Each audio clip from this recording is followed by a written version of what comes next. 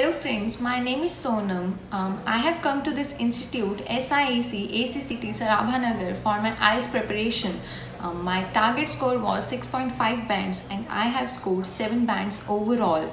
Um, I took preparation for only one month and have achieved my uh, targeted scores. Uh, I found this institute very supportive and the faculty over here was very cooperative. The best part of this institute was their small batches due to which every child got individual attention. So I would definitely recommend this institute to my friends and family.